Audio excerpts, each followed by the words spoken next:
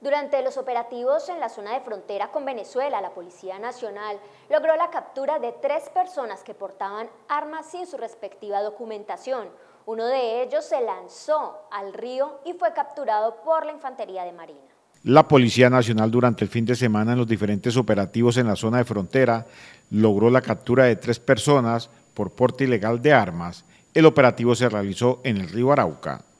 Bueno, eh, el Departamento Policía Arauca, en, cumplimiento a la orden presidencial de cerrar todos los pasos fronterizos eh, en el día de ayer, se realizó la captura de tres ciudadanos, eh, dos extranjeros venezolanos, un colombiano, los cuales pretendían hurtar a una persona.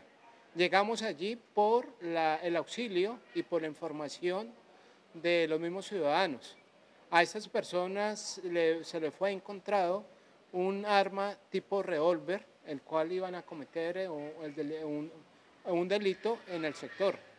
Con el apoyo, fue importante el apoyo que tenemos ahorita de nuestra Infantería de Marina, que capturó uno de estos, eh, de, de estos individuos en el río Arauca que empezó a cruzar el río. El comandante encargado del Departamento de Policía de Arauca dio a conocer que uno de ellos tenía antecedentes. Bueno, es, es importante resaltar que uno de ellos tiene antecedentes penales por el delito de tráfico, fabricación y porte de superfacientes y concierto para delinquir.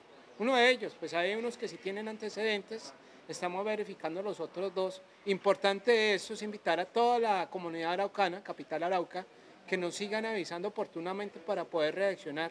Y importante el cumplimiento de la orden presidencial del cierre de la frontera en ese momento.